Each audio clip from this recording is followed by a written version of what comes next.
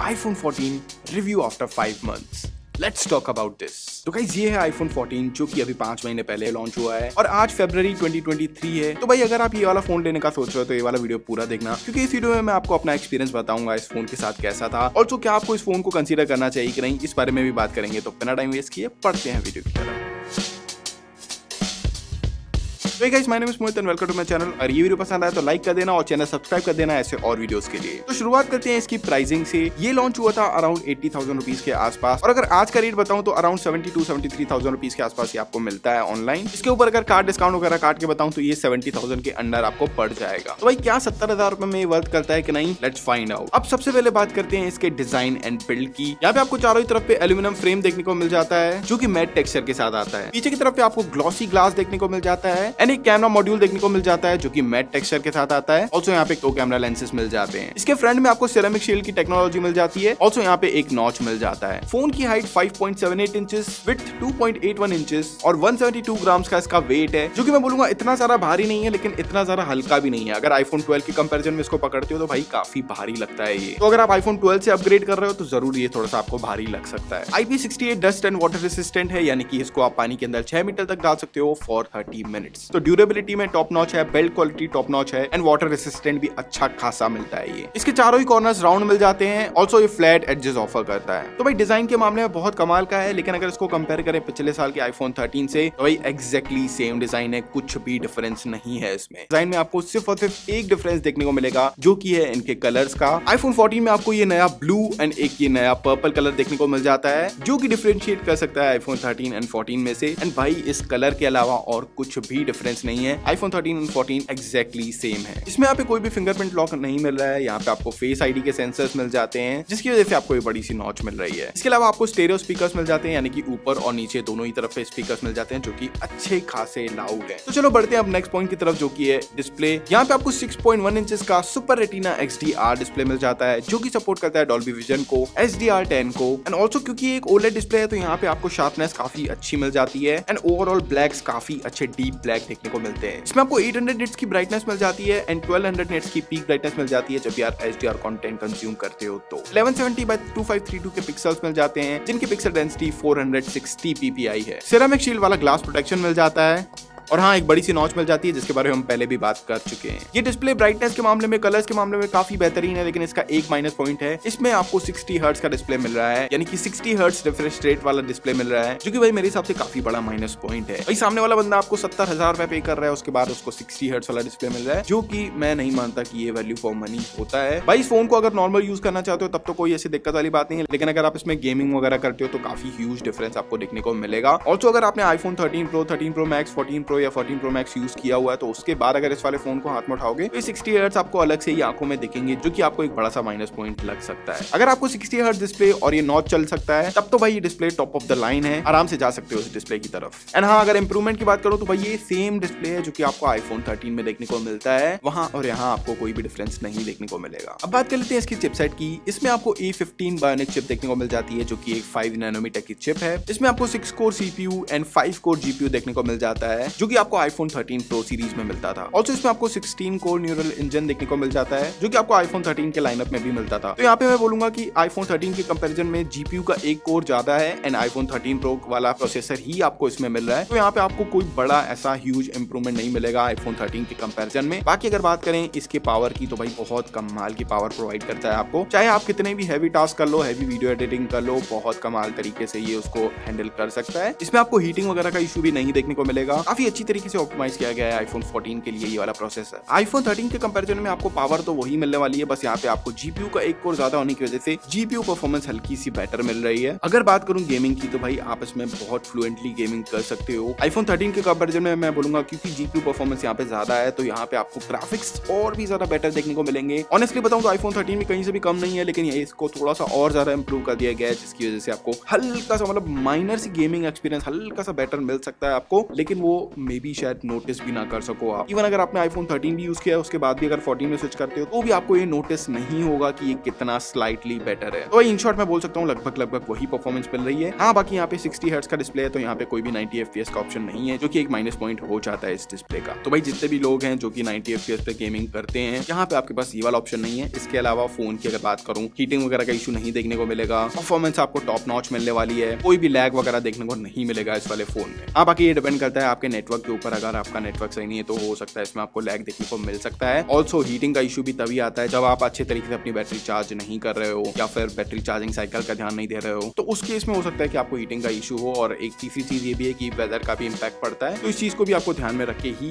Gaming करना है। तो अगर मेरी बैटरी हेल्थ वाली वीडियो नहीं देखी है तो जाके ऊपर आई बटन में क्लिक करके देख लेना। उसमें मैंने काफ़ी अच्छे तरीके से आपको बताया कि आपको कैसे मैनेज करके रखनी है अपनी बैटरी को। तो भाई, क्योंकि अब बात हो रही है बैटरी की तो अब बात कर लेते हैं इसके बैटरी की। यहाँ पे आपको three two seven nine mAh की बैटरी देखने को मिल जाती है। जो कि अगर एंड्रॉइड से कंपेयर करोगे तो आप बोलोगे, यार, बहुत कम बैटरी बैकअप है। लेकिन काफ़ी अच्छे तरीके से ऑप्टिमाइज है ए फिफ्टीन बायोनिक चिप इसके लिए, जिसकी वजह से ये काफ़ी बेहतर बैटरी बैकअप देने वाला है आपको। चार्जिंग स्पीड की बात करूँ तो भाई फिफ्टी चार्ज हो जाता है तीस मिनट में। और हाँ बाकी इसमें इसके साथ कोई चार्जर वगैरह तो मिलने वाला है नहीं, जो कि आजकल बच्चे बच्चों को पता है। बात करूँ अगर इसके बैटरी बैकअप की तो भाई ये एक दिन आपको बहुत अच्छा खासा बैटरी बैकअप दे देगा। अगर आप नॉर्मल यूज़ करते हो तो एक से डेढ़ दिन तक का आपको उसमें आराम से बैटरी बैकअप मिल जाएगा। और अगर थोड़ा भी आप हैवी यूज़ करते हो तो ये पूरे दिन के लिए तो आराम से चल जाएगा। आपको रात को फिर से चार्ज करना पड़ेगा बस इस फ़ोन को। बाकी ओवरऑल मैं बोलूँगा काफ़ी अच्छा बैटरी बैकअप है इसका। और अगर आप इसको हंड्रेड चार्ज करके लगातार गेमिंग करना चाहते हो तो अराउंड पाँच घंटे के आसपास ये आपको बैटरी बैकअप दे देगा, पाँच से छह घंटे के बीच में ये आपकी बैटरी को टेन से नीचे कर देगा। यानी कि अगर लगातार काफ़ी हैवी गेमिंग कर रहे हो तो पाँच छह घंटे का आराम से बैटरी बैकअप दे देगा। बाकी डिपेंड करता है कि आप वाईफाई में खेल रहे हो या फिर आपकी बैटरी हेल्थ कैसी है। इन सारे एलिमेंट्स को कट करने के बाद मैं ये सारी चीज़ें बता रहा हूँ। बाकी ओवरऑल ये डिपेंड करता है आपके यूज़ के ऊपर। भाई देखो, अगर आपने बहुत ज़्यादा कैमरा यूज़ किया हुआ है तो हो सकता है आपकी बैटरी काफ़ी जल्दी ड्रेन हो जाए क्योंकि कैमरा में ही काफ़ी ज़्यादा बैटरी ले लेता है। ऑल्सो अगर लगातार गेमिंग कर रहे हो वीडियो एडिटिंग कर रहे हो तो भी आपको हो सकता है कि बैटरी बैकअप अलग अलग मिले। क्योंकि हम सबके फ़ोन यूज़ करने का एंड फ़ोन चार्ज करने का पैटर्न एकदम डिफरेंट डिफरेंट होता है। तो इस वजह से हमें बैटरी बैकअप भी डिफरेंट डिफरेंट मिलता है। तो भाई चलो अब बढ़ते हैं हमारे नेक्स्ट पॉइंट की तरफ़, जो की है कैमराज यहाँ पे आपको दो ट्वेल्व मेगापिक्सल के लेंसेज देखने को मिल जाते हैं, जो कि दोनों डायगोनल लेंसेज हैं। इन दोनों में से एक वाइड एंगल लेंस है एंड दूसरा अल्ट्रा वाइड एंगल लेंस है। तो भाई अल्ट्रा वाइड एंगल शॉट भी काफ़ी कमाल का ले लेता है। ऑल्सो इसके तीनों ही लेंसेज में, यानी कि दोनों पीछे वाले लेंसेज और इसके 12 मेगापिक्सल के फ्रंट कैमरा में भी आपको नाइट मोड का विजन देखने को मिल जाता है। यानी कि ये तीनों ही लेंसेज नाइट मोड में काफ़ी अच्छी फोटोग्राफी कर सकते हैं। यहाँ पे मैं आपको इनके कुछ कैमरा सैंपल्स दिखा देता हूँ ताकि आपको आइडिया हो सके कि इसमें किस लेवल का आउटपुट मिलेगा।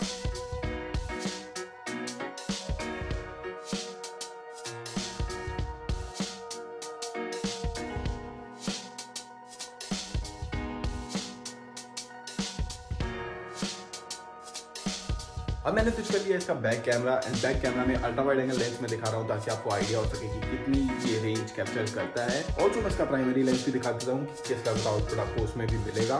तो भाई ये इसका फ्रंट कैमरा एंड ये अभी शूट कर रहा है 4K 60 FPS पे। तो यहाँ पे आप देख सकते हो कि भाई अगर ब्लॉगिंग वगैरह के लिए देख रहे हो तो कितना सही हो जाता है ये।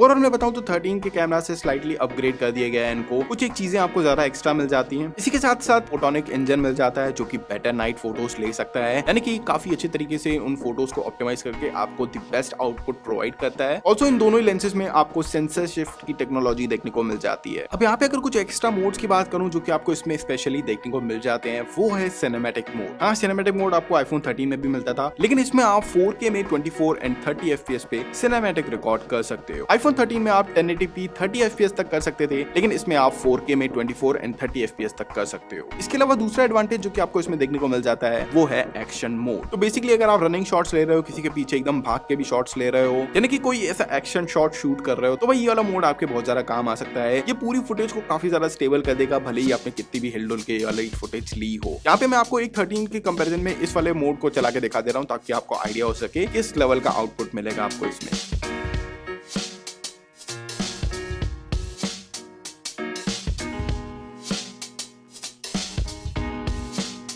इसका एक छोटा सा माइनस पॉइंट ये कि अगर आप पूरा प्रोजेक्ट 4K में कर रहे हो तो ये भाई 4K में ना करके 2.8K में उसको कंप्रेस कर देता है। वो एक छोटा सा आपको माइनस पॉइंट लग सकता है लेकिन 2.8K में कर रहे हो वो भी कोई कम रेजोल्यूशन नहीं है काफ़ी अच्छा खासा आउटपुट मिलेगा। इसके अलावा दूसरा एक माइनस पॉइंट इसमें ये कि इसको काफ़ी ज़्यादा लाइट की ज़रूरत पड़ती है। तो आप आउटडोर में सुबह के वक्त में ही इसका यूज़ कर सकते हो। इंडोर तो भूल ही जाओ इंडोर नहीं कर सकते जब तक आपके पास काफ़ी हैवी लाइटिंग नहीं है तो, तो इनके इन दोनों कैमराज में तो आपको यही डिफरेंस देखने को मिलता है। इसके अलावा आपको एक मेजर अपग्रेड देखने को मिल है इसके फ्रंट कैमरा में। यहाँ पे आपको ऑटो फोकस का ऑप्शन देखने को मिल जा रहा है। यानी कि अगर आप ब्लॉगिंग वगैरह करते हो फ़ोटोज़ वगैरह क्लिक करते हो तो आपको काफ़ी बेटर आउटपुट मिलेगा as compare to iPhone thirty तो अगर आप एक कॉन्टेंट क्रिएटर और फ्रंट कैमरा से शूट करते हो तो ये बहुत कमाल की बात हो जाती है। क्योंकि यहाँ पे आपके पास फोर के सिक्सटी एफ़ का भी ऑप्शन मिल जाता है। थर्टीन में भी था, इसमें भी मिल जाता है तो वो एक बहुत कमाल की बात हो जाती है। भाई, ये तो था कैमरा अब बात कर लेते हैं कुछ अदर फीचर्स की, जो कि आपको इसमें देखने को मिल जाते हैं। सबसे पहला है क्रैश डिटेक्शन बाई चांस अगर आपका कार एक्सीडेंट हो जाता है एंड आपका आईफोन 14 आपके जेब में पड़ा हुआ तो भाई ये डिटेक्ट कर लेगा कि आप किसी एक्सीडेंट में इन्वॉल्व हुए हो और ये इमरजेंसी सर्विसेज़ को कॉल कर देगा, आपकी लोकेशन आपके फेवरेट कॉन्टेक्ट या फिर इमरजेंसी कॉन्टेक्ट तक पहुँचा देगा। ये एक सेफ्टी फीचर हो जाता है। इसके अलावा दूसरा फीचर जो कि आपको इसमें मिल रहा है, वो भी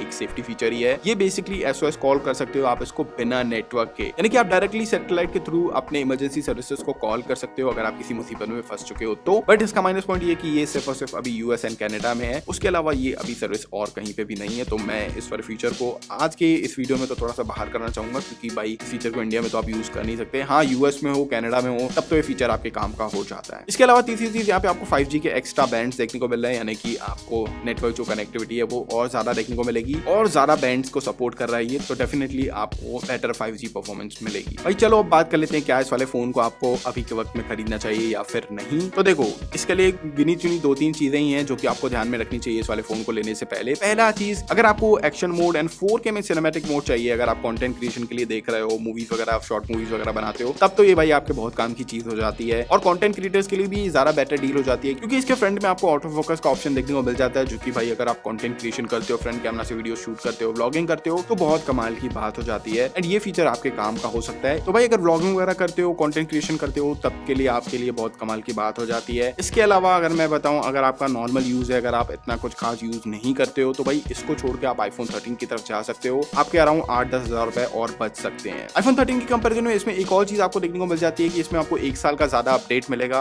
और भाई, मैं बोलूँगा कि आईफोन थर्टीन भी आपको कोई कम अपडेट्स नहीं देने वाला है। आज से पाँच साल बाद भी उसमें सेम अपडेट्स आपको देखने को मिलेंगे। तो ये मुझे कोई बड़ा रीजन नहीं लगता इसमें अपग्रेड करने का। ऑल्सो फाइव के कुछ बैंड आपको एक्स्ट्रा मिल रहे हैं। ये आप अपनी कन्वीनियंस के हिसाब से देख सकते हो। अगर आपको इतनी रिक्वायरमेंट है तो हाँ कर सकते हो अपडेट नहीं तो कोई इतनी ज़रूरी बात नहीं है। ऑल्सो थर्टीन के कंपेरिजन में हल्का सा आपको बैटरी इंप्रूवमेंट भी देखने को मिल रहा है। बाकी एस एंड क्रैश डिटेक्शन तो आपको देखने को मिल रहा है। अगर आपके काम की चीज़ है तो अपग्रेड कर सकते हो। नहीं तो इसको छोड़ के आईफोन थर्टीन की तरफ़ जाओ और अपने आठ दस हज़ार रुपए बचा सकते हो वहाँ पे। तो भाई इस वीडियो में मैंने जो फीचर्स आपको बताया, अगर आपको एडिशनल ये फीचर्स चाहिए तो आईफोन फोर्टीन की तरफ़ जा सकते हो। नहीं तो थर्टीन की तरफ़ जाओ। पैसे भी आपके बच जाएँगे एंड ओवरऑल मैं बोलूँगा दोनों सेम ही है। सिर्फ़ ये कुछ एक एडिशनल फीचर्स आपको 14 में ज़्यादा मिल रहे हैं। इसके अलावा लगभग लगभग पूरा जो फ़ोन है वो सेम आईफोन 13 ही है। इवन दोनों का डिज़ाइन भी सेम टू सेम है। और अगर आप आईफोन 13 और 14 का पूरा कंपैरिजन देखना चाहते हो तो ऊपर आई बटन में क्लिक करके देख सकते हो। ये वाला वीडियो पसंद आया तो भाई लाइक ज़रूर करना और अपना वैल्यूएबल कमेंट ज़रूर से छोड़ देना। चैनल सब्सक्राइब कर लेना बेल आइकन दबा देना ताकि मैं जब भी नए वीडियो डालू तो आपके पास नोटिफिकेशन सबसे पहले आ जाए। तो मैं मिलता हूँ नेक्स्ट वीडियो में, तब तक के लिए